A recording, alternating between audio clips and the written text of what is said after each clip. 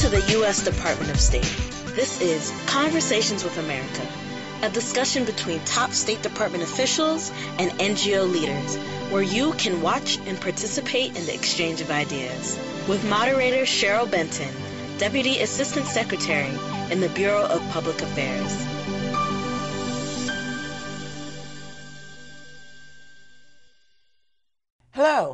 I'm Cheryl Benton, Deputy Assistant Secretary in the Bureau of Public Affairs, and I'd like to welcome you to Conversations with America. Today, we, will, we are talking about the, addressing the global challenges at the United Nations. We'll touch on some pressing issues such as nuclear nonproliferation, human rights, economic development, climate change, global health, and of course, the 67th United Nations General Assembly. So now let's meet our guests. We are privileged to have with us Esther Brimmer, Assistant Secretary of State for International Organizations, Stewart Patrick, Senior Fellow and Director of the International Institutions and Global Governance Program at the Council on Foreign Relations, and Heather Hurlburt, Executive Director of the National Security Network. Thank you all so much for participating in this program. Thank you. Thank you. Esther, could you please start us off by talking a little bit about your role as Assistant Secretary on this very, very important issue? Well, Cheryl, thank you. I'd be delighted to. I'm delighted to be here thank for you. our conversation. Yes. Indeed, I have the honor of managing the United States relationship with the United Nations. Mm -hmm. The United Nations provides real opportunities for the United States. We're able to advance our work on peace and security, helping to, to secure Americans, our work on international development, as well as on human rights and a range of global issues that help us advance our work to make lives better for the American people. That's fantastic. Stewart, can you tell us a little bit about your role and how that impacts our discussion today? Sure. Um, I direct a program, as you mentioned, yeah. um, at the Council on Foreign Relations that looks um, basically at how effective current international institutions are in managing some of uh, today's global challenges. And uh, one of those, of course, and perhaps the most important one, because it has universal membership and it also has the force of international law under, under the Charter, is, of course, uh, the United Nations. And uh, over the past four years, there's uh, been uh, a, a, tremendous uh, amount of uh, use of the United Nations um, and some successes, some less than successes perhaps, but, but I think that uh, the, the overall evidence is that um, uh, the United States de depends on the United, uh, the United Nations as an indispensable, if somewhat flawed, instrument right. and, and, and, a major right. pillar of its foreign policy. Right. Great. Thank you. Heather, can you give us your perspective and your role and how that impacts? Sure. Thanks, Cheryl. Yeah. I run the National Security Network, which was founded based on the idea that in our democracy, there are a great many people who are making or influencing decisions on how the U.S. is in the world that, frankly, because we're such an enormous country, don't find themselves as they ought to be reading every word that Stewart writes or following carefully every policy initiative that Esther puts out. So we see our job as acting as translators okay. and bridges between the folks who are really um, engaged in depth and in the details details of how what the U.S. is doing out in the world and Americans at home who are engaged first and foremost in their own lives, but need to be able to have input um, in a democracy, which is how we make decisions about these things. Well, very good. Thank you. Esther, uh, curious, what do you want Americans to know about the United Nations system? Certainly, what, and indeed it can look complicated looking yes. outside. Indeed, the United Nations system is an organization that brings together over 193 countries uh, to mm. address the world's problems. Mm. And what we try to do is advance uh, working on some of the most difficult issues on peace and security. For example, we try to address tough issues like how do we uh, address the spread and the effort for some to spread nuclear weapons? How do we mm-hmm. band together to try to stop the spread of some of the most dangerous weapons? Mm-hmm. How do we work together to stop the spread of contagious disease. We go, we work through organizations like the World Health Organization to try to advance global health.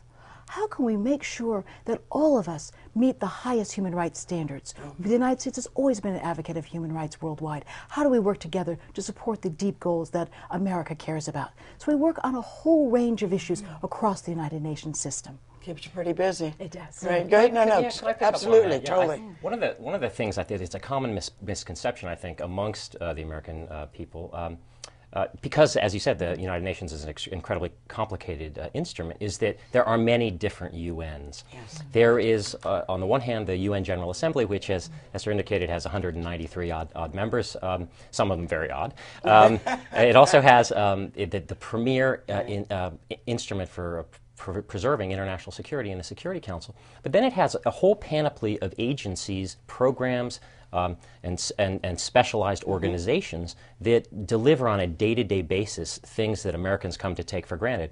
And that includes everything from the World Health Organization, which is on the front lines of looking for the next pandemic, um, to uh, the International Atomic Energy Agency, which is really the world's watchdog right. uh, for uh, nuclear, uh, nuclear energy and, and, and non-proliferation um, uh, efforts. So it's a, it's a huge uh, body. There are, there, there, there are bodies there that try to keep um, uh, the International Civil, Civil Aviation Organization, for instance, that make sure that, that planes are staying aloft and that there are res- reciprocal ag- agreements over uh, use of each other's airspace, things that one takes for granted, but that the UN right. is doing day in and day out. Right. Cheryl, the way yeah. I always talk about this is that there's a whole set of things that Americans need from the rest of the world, but we would never want to have to do and pay for all of ourselves.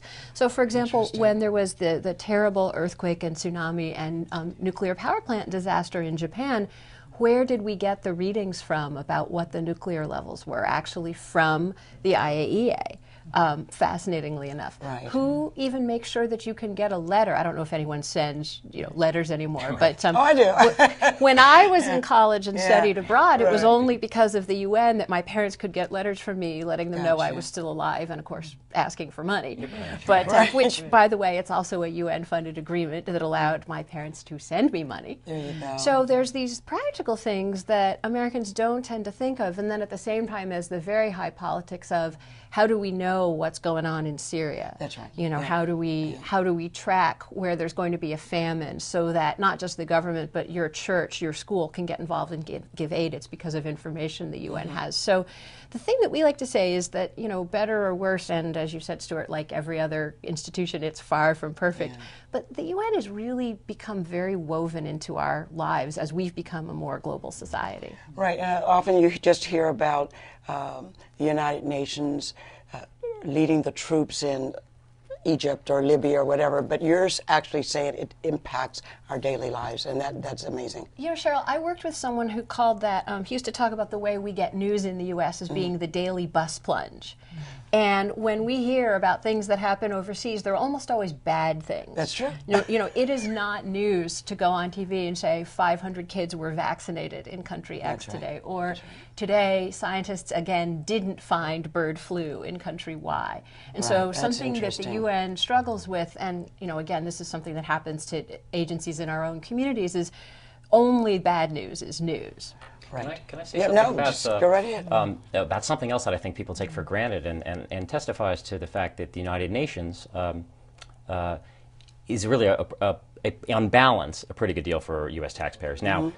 Americans have every right to demand uh, uh financial accountability and responsible management practices from the United Nations, and we can talk about this a little later. But but there and there are there the UN has a, a, bit of a ways to go because of its internal organization. But one thing that is of real benefit to the United States is uh, UN peacekeeping.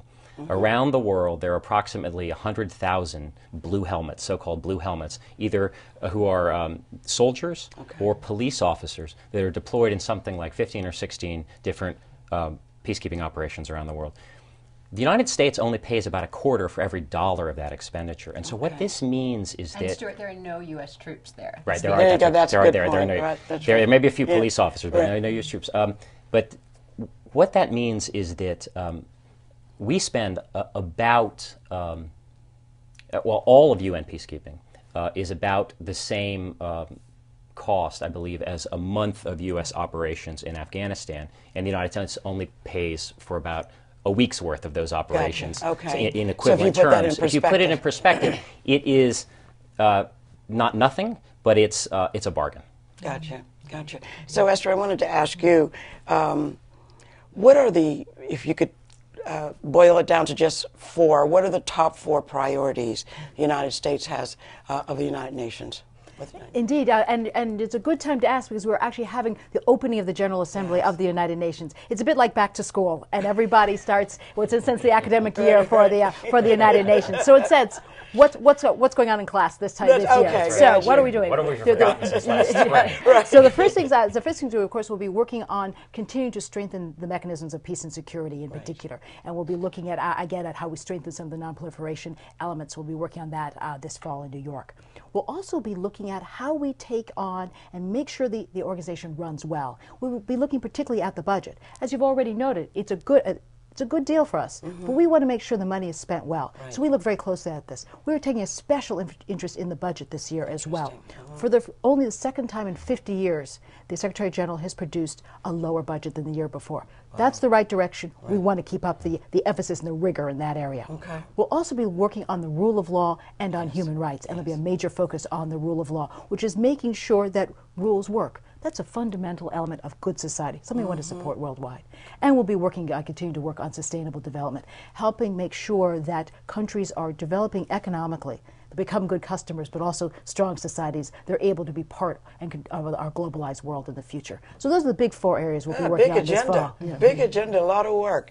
So tell me, why is the United Nations so important when it comes to combating global challenges. And I'm going to, Heather, if you take that one first, and then everyone else could just chime in. Absolutely. Well, you know, there's, again, first of all, there's some of these problems that no one country, even the United States, can deal with alone. You wouldn't want the U.S. to be in charge of keeping all airplanes everywhere flying. You wouldn't want the U.S. Mm. to try to fix everyone else's okay. global warming. You wouldn't want the U.S. by itself to try to stop the killing in Syria. You want you want other countries' resources involved, and you want other countries' know-how, and other countries' soldiers, and other countries' advisors, and other countries' doctors involved.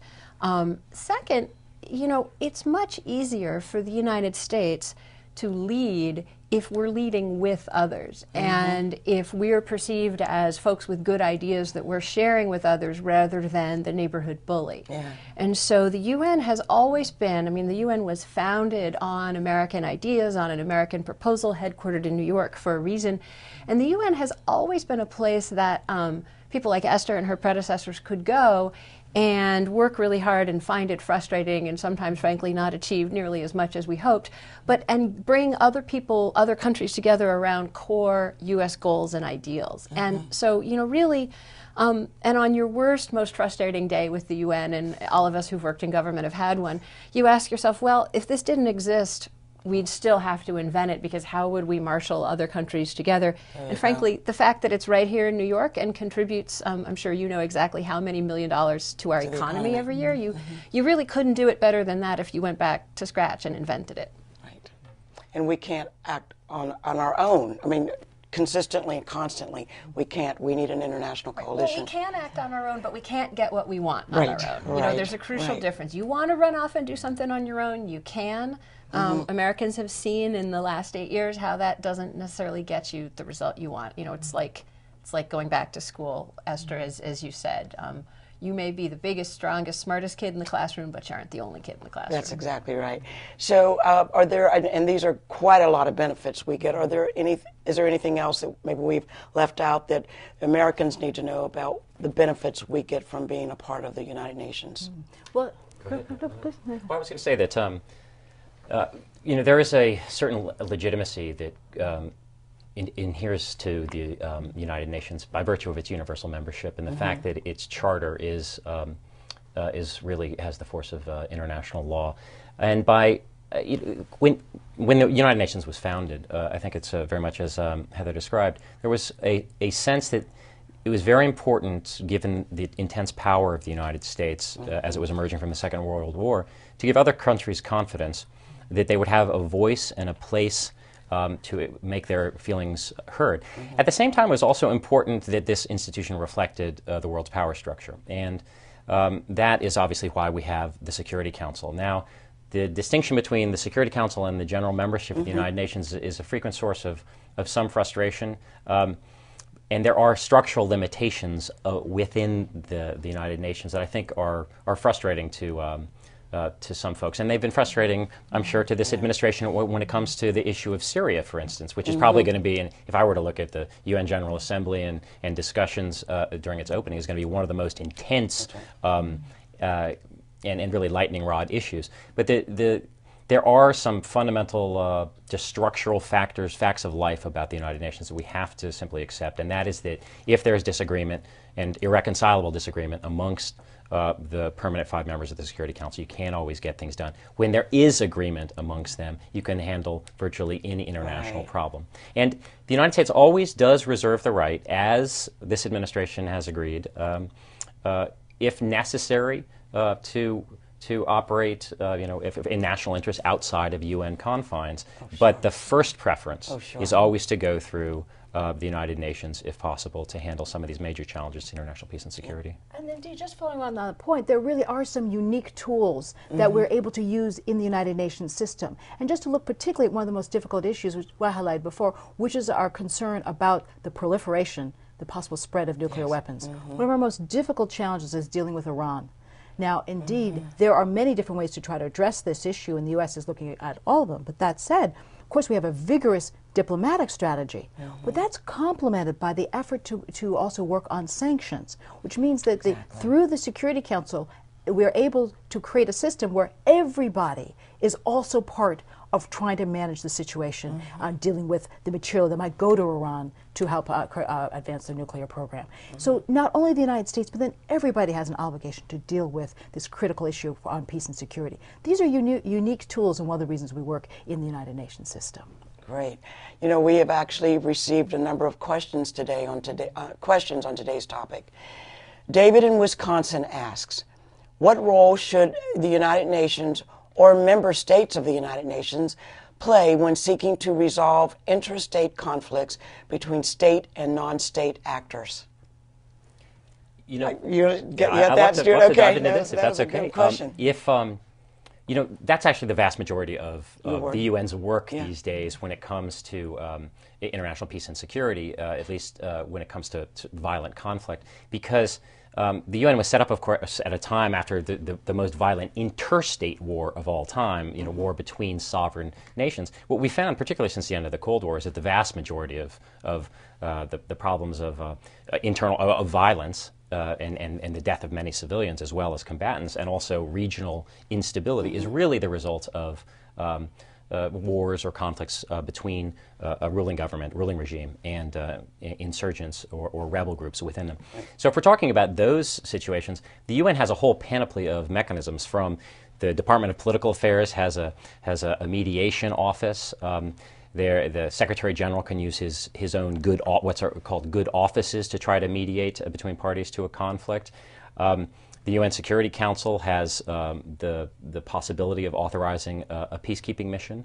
Um, and uh, in probably some of the, the biggest um, debates come about when you have a situation of internal violence where there is just a tremendous loss of civilian life. Mm or the threat of a tremendous loss of civilian life, as we saw in Libya, where the UN mm-hmm. Security Council authorized a mission uh, to end uh, uh, Muammar Gaddafi's uh, depredations. The question now is that that sort of consensus is lacking in the case of, of Syria. And right. again, as I said, it shows the difficulties uh, when you don't get permanent five agreement. And in that situation, you know, you either have to continue trying to work the multilateral mm-hmm. track through the UN hoping that this uh, peace mission by Lakhdar Brahimi is going to succeed, or you have to start considering whether you, you have an option to do, as the United States did in the situation of Kosovo, put together its own coalition outside of the UN framework, which would be a very uh, pivotal decision and not an easy uh, one. Yeah, that's pretty dicey. Yes. Yeah. So just to, you know, to, to, push you a little bit, Stewart, in a way, um, a good U.S. policy is always doing both things at the same time. Gotcha. And, and there is this um, principle called subsidiarity, which, if I go back to Esther's schoolyard analogy, is, is, kind of a fancy word for saying don't run to the principal with every problem. Right. And that, you know, in any case where you have a conflict between a state and a non-state actor, whether it's Syria, mm-hmm. uh, whether it's someplace much smaller scale, whether it's even something that's not yet violent, what are the other mechanisms what are the tools right. what are the, and what do the country's actors right around where the conflict is think and how do they want right. to solve the problem right. and the UN, because it has to look at everything everywhere, and because, despite being, as we've said, unique and irreplaceable, is also relatively weak, sh- shouldn't and can't necessarily be the, the organ of, of first resort. You know, and in a case like Syria, one of the things that that seems likely to mean is that, frankly, even if you had agreement among the five permanent members of the Security Council, if you didn't have agreement among Syria's neighbors on what the proper course of action was, um, you probably would see you wouldn't see anything happening. So there's this there's this complex dance between what do the affected actors in a region think, what do the world's most powerful actors think, and then how do those things feedback. And the UN is the place where that gets worked out, even if it's not um, sort of officially where it gets worked out. The one other thing that I, I do feel like we should say, and, and then Esther, maybe you want to talk about this, is that, of course, the UN doesn't formally reflect the existence of non state actors because the world didn't look like that in 1945. And Exactly. that's, in some ways, really a problem at a moment where guerrilla movements, but also corporations, like, you know, Google or Facebook plays a very significant Yes. role in international affairs. How Yes. is that? How can how mm-hmm. can we reflect that in the UN's deliberations? Well, indeed, there are very really important relationships. Relationships. As I said, first off, the United Nations is an organization of its member states, mm-hmm. and I should say that we think member states have responsibilities as well. Mm-hmm. Many of these issues should start with states meeting their own obligations to their own people. That's where the issue starts, and that's often where it should be resolved. It's only when it can, cannot be resolved uh, that we often that it spills out to the international system that it may if there's a crisis that then may uh, for example create outflows of refugees or other other forms of, of instability then you often see it come to the international stage. But indeed there are many different places to try to address it. It may be bringing together the neighbors with a you know, diplomatic effort. It may be working through regional organizations. And one of the interesting developments in recent years has been the growth of uh, and deepening of the work of regional organizations. And they're often working with the United Nations. So, for example, the African Union is working with the United Nations in ways we've never seen before. That on really uh, t- tough issues on peace and security, you see these two, two different organizations trying to work more closely together. These are important, important de- developments that help uh, d- uh, deepen uh, uh, the network of, of cooperation amongst different uh, organizations. But indeed, the world is evolving and changing. And indeed, that while of course we have a world of member states, there are many other actors as well. The first and most important is the individual. That ultimately, of course, as a liberal democracy, we recognize that we ultimately are care about the well-being of people. And one of the most important things is some of the work we do to support people. And, and even within the United Nations system, when we even when we talk about peace and security, we talk about the protection of civilians. Right. We try to do things like combat trafficking in people because we're concerned about how we can promote the security of people. but we also look at um, how we try to uh, then address other actors in the system. And as indicated, companies are involved. Indeed, so uh, that if we look in many places, uh, whereas you know two generations ago, economic development was spurred by official development assistance, country to country, extremely important, remains extremely important. But now it's often private investment that's often helping drive economic growth. That's a good thing. And so we look at ways to bring in other actors into the system. And I would note that even in the United Nations now, depending on which United Nations body you'll go to, you'll see, of course, the member states who are participating. But we also think it's important that non governmental organizations have a voice, particularly on issues such as human rights. So uh, we always support the ability for non governmental organizations, human rights advocates, to be able to talk to member states. That's an important thing to do.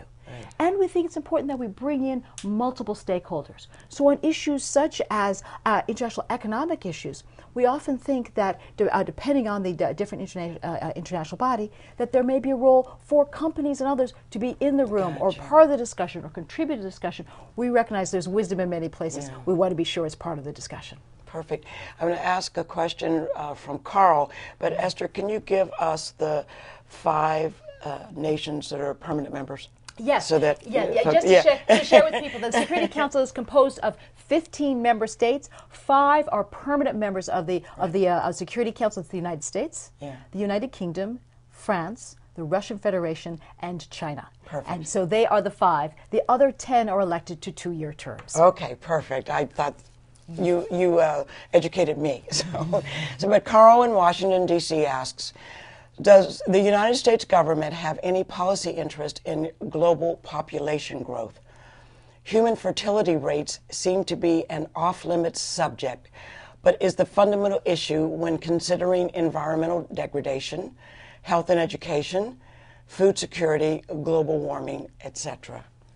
Sure, you want me to start? Yes, yes. Cause, yeah, I mean, I, what Esther just said about the individual actually is really the key in understanding how I think the U.S. and now the UN think about this. That the key thing here is empowering women and families to make their own decisions about fertility. And that's the goal that the U.S. has set and has worked with the UN to, to improve the UN's work on for, for a number of years now. And this is because, first of all, um, we think that's a basic human right.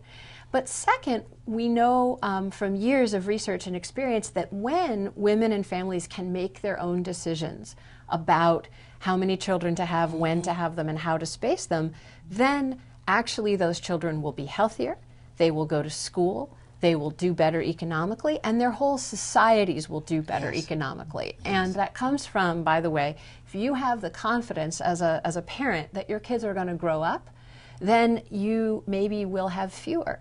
And we actually know, by the way, what's the single biggest determinant in families choosing to have fewer children? The educational level of the mom. So, mm. um, and this works much better and is much more morally palatable than some of the um, mandatory approaches to family planning that um, some authoritarian countries mm-hmm. tried in the past and which are, are really repugnant to anyone who believes deeply in, in individual rights. And the UN is a real leader in providing assistance to educate women and provide women and families the option to do that. And frankly, um, again, there's a lot of things that Americans support that the UN consistently does and pays for, and it, the, the numbers are pretty similar to the numbers, Stewart, you gave for peacekeeping, that for a little tiny U.S. investment, we leverage a lot more global support for women and families on this. Can I, can I just pick up on, on, the, on Carl's um, question about whether or not this is a security issue um, or touches on security issue?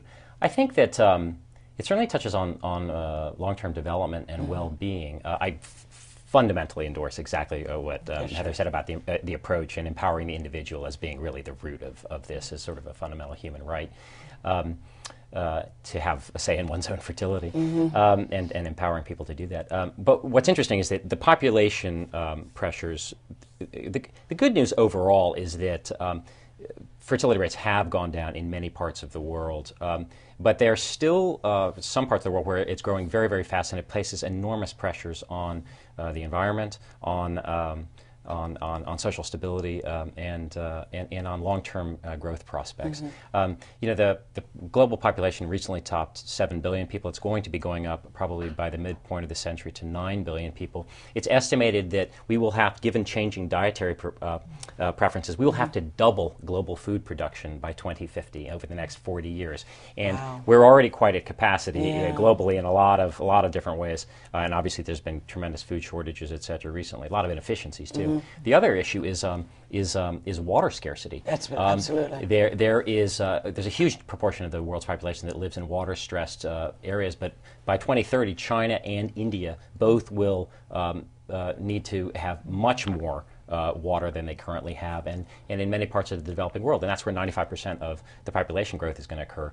Uh, that's going to that's going to be a factor. And then, of course, you know, as people aspire to middle class, you know, yeah. Western yeah. lifestyles, uh, their their economic uh, behavior is going to be similar. Not just their their preference for eating uh, eating more meat, but also for uh, burning uh, greenhouse gases or right. car, you know right uh, hydrocarbons that are going to moving into middle class right, exactly. and, and, just being a consumer. It's, right. It's, it's, yeah. So it places yeah. a lot of pressure, whether yeah. one calls this security or whether one calls it sort of human sustainability. It's, right. uh, it's one could argue about that. Yes. And indeed, I, I, just to pick up on that point, indeed, as you talk about the pressures on food, and I think it's particularly important to notice that some of the particular initiatives that we've advanced, both on global health and on food security. So mm-hmm. we recognize the huge impact right. this has on human well-being, on security, on economic issues. And so we've worked with others very, to try to uh, strengthen the mechanisms mm-hmm. to support the ability to grow food and to get it to market. Right. And so that right. we've worked very closely with the United Nations food agencies. Okay. They're based in Rome and particularly that are working on whether it's the Food and Agriculture Organization, the World Food Program that particularly works in the emergency situations, and the efforts, the global efforts we've done uh, both through the UN, through the G8 and others, yes. and working with other other donors to strengthen the world's capacity both as they both to grow food, but to actually get it to the right place. And to really work, for example, in sub-Saharan Africa, we recognize that we both want to grow food and make sure that, that the f- people who do the farmers, 70% of the women, uh, farmers in sub-Saharan Africa are women, make sure they have the tools, whether it's literally the agricultural tools or the financial tools to be able to, uh, to market their, their food stuff. That's crucial uh, to be able to uh, meet the growing needs for, uh, for food security. It's also important because of another global trend, and that's urbanization. For the first ah. time in human history, we are an urban species. We know that because UN Habitat tracks where people are. And they keep, Interesting. and they keep, tra- and they keep the data on the growth of cities. There Really? are now mm-hmm. many global cities. Even in our own country, the majority of the American population lives either in cities or sur- uh, in suburban areas. And but this is becoming true worldwide. By 2050, 70% of the world, 70% of the world will live in cities. And, Which tw- do- and, and two billion, Oh, two billion people will live in slums. exactly. Is that right? Without, without, Wow, without, amazing. uh, exactly, without water. lo- uh, planning, uh, planning issues, you end up with slums, and it's a huge problem. And it'll be an economic issue and a security issue. And that's one of the things we address in the UN system and with other partners. We recognize this is an important global trend, and we know that he, leaders here in this country, in our Mm-hmm. own country, learn about how you try to provide food, transportation, health in cities, and we try to exchange the best thinking about right. helping people live in cities worldwide. That we just completed last week the World Urban Forum. It's Oh, the United exactly. Nations group that brings together right. the experts trying to address these issues, and that matters to all of us. You know, I think it's worth bringing this back to politics because mm, one of the fascinating things that you have with this, if you look at an arc of countries across the Middle East where mm. there have been revolutions or attempted revolutions in recent years, the so-called Arab Spring, also countries where 30 to 50 percent of population is under 25. It's under 25, Now, exactly. you know, my Africa kids, is the my the kids same aren't channel. teenagers yet, so Yeah, I right. can't quite imagine this world. But um, it's coming all too soon. And Right. you know, the idea that um, the guy who burned himself to death and sparked the revolution in Tunisia, which sparked the revolution across the Arab world, a young man who couldn't find a job. Exactly. who couldn't support his family. And so when we think about, it's easy to think about all of these issues as technical problems. And in the abstract. And in the abstract, and what, but what they come down to is on the one hand, the same thing Americans are talking, you know, jobs, jobs, I want a job. Mm-hmm. And what's behind that is dignity. Of course. Human course. dignity. Mm-hmm. And, you know, this, you know, one of the reasons the UN is so complicated and so annoying and so frustratingly hard to track is there turn out to be all these facets to this simple question of how do we help human beings achieve and feel their own Feel- dignity? feel and how it. do we recognize that it's, it's in our interest Right. when they do that? Right. And that is a really that's a great point. On the one hand, it's a very simple story. Mm-hmm. You know, everybody who wants a job wants that kind of dignity. On the other hand, it turns out to be this really complicated story. Oh, that's interesting. Um, I want to go to an, another question, but wanted to comment. Uh, you had mentioned about uh, the farmers, and I have a friend who works in Sierra Leone, and he, he discovered a small village, and they were great agrarians, they were great farmers. They had no road to get their food to the marketplace. So he went about raising that kind of money. But that is the, the level of the challenge, I'm sure, in many places across the globe. Farm to market roads are Yes. one of the major Yeah. uh, banes of uh, the lack of them is a, is a That's major right. bane to to efforts to try to build um, uh, sustainable uh, and uh, and uh, and sort of self-sufficiency, and not that you need to get 100% self-sufficiency, but also even export. You know, and this has been the uh, question in uh, my other places in Afghanistan. Is you know how do we, in addition to the security situation, Mm-hmm. is just how do you get uh, agricultural products uh, to markets where they can actually be bought.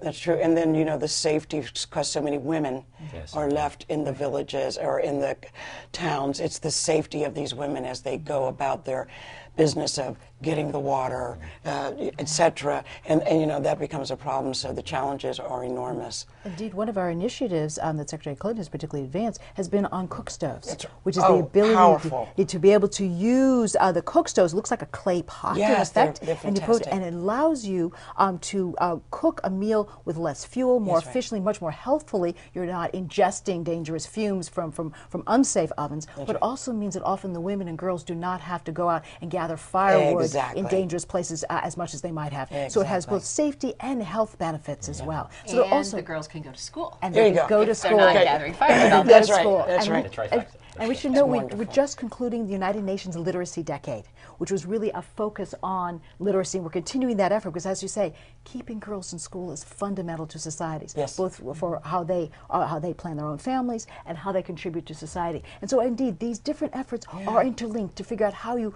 raise up everybody so we create a more sustain, uh, stable world. That's beneficial for Amazing success stories on literacy, which I'm sure you know by heart. But it's it's just incredible mm. when you look at some of the numbers of places that fewer than one in three women could read when we were all kids in school, mm. and now you have 60, 80 percent of it's, women. It's phenomenal. Right. So we have, uh, I think our last question is from Margaret, also from Washington, D.C., who wants to know to what lengths will the United Nations and the State Department work to alleviate the violence in Syria? Or in the midst of the Arab Spring, how will the United Nations handle in issues such as civic violence while preserving the sovereignty of nations?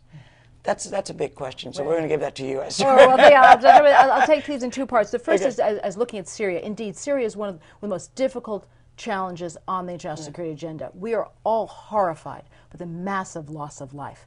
And we've been very clear for two years now that the Syrian government must stop uh, yeah. attacking its own people. I started off talking about the responsibility of states to protect their own people. Mm-hmm. And so clearly, uh, we have both, uh, uh both as the United States, spoken out about this issue very clearly, and the President's been very clear. We've also looked to see how many tools we could use. And in particular, we, of course, first looked to the Security Council, mm -hmm. because as we've said, we've tried to bring this issue to the Security Council and say to address one of the most pressing issues. However, the Security Council uh, can work when all of its members agree and when its permanent five agree. Right. Because the permanent five have a veto. Right. That means any one of the permanent five, including the United States, mm -hmm. can ultimately say, we support or we do not or support an action. Right. If they do not, it does not happen. Right. And what we've seen is that uh, three times Russia and China yes. have vetoed the effort, which is clearly a global effort, to bring the Security Council's uh, work and the unique tools of the Security Council mm -hmm. to try to help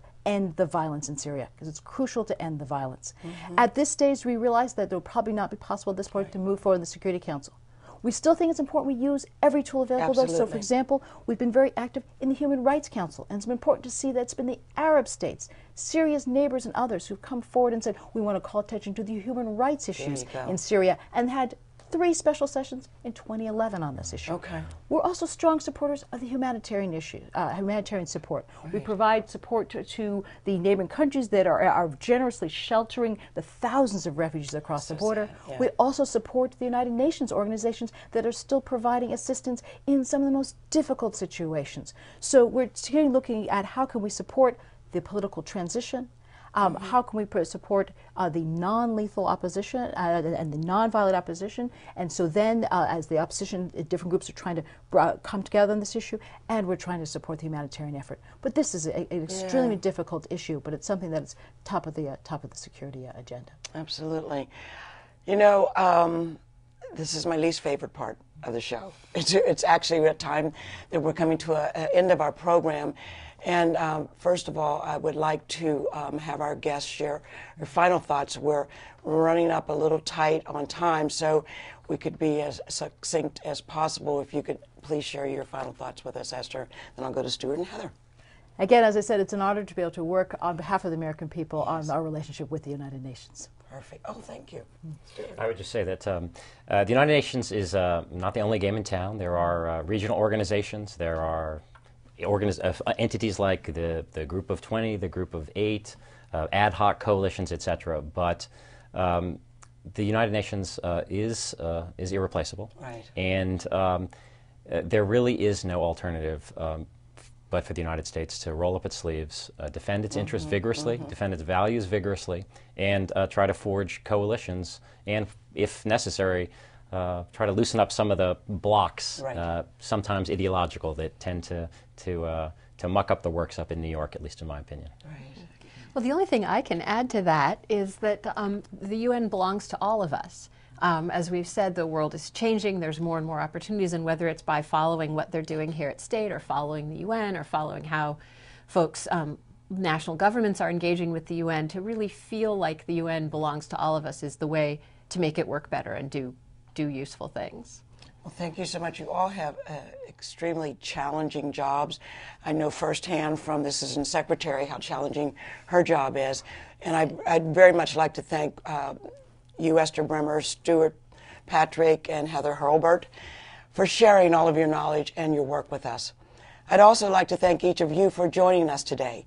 We hope that Conversations with America will continue to inform citizens about the administration's efforts to address the challenges of the 21st century. We look forward to engaging with you again soon. Thank you.